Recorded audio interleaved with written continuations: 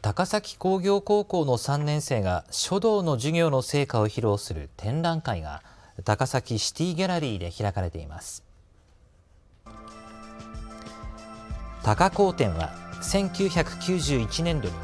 高校書道展として始まったもので2008年からは文化部の作品展示を加え毎年開催されています。高崎工業高校では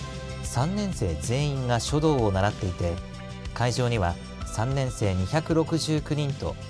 定時制の3年生5人の作品が展示されています。高校生活を振り返り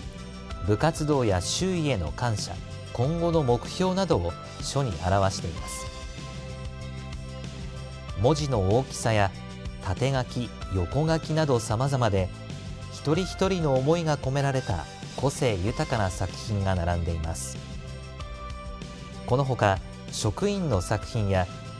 イラスト部や写真部などの作品も合わせて紹介されています。この高校展はあさって19日まで高崎シティギャラリーで開かれています。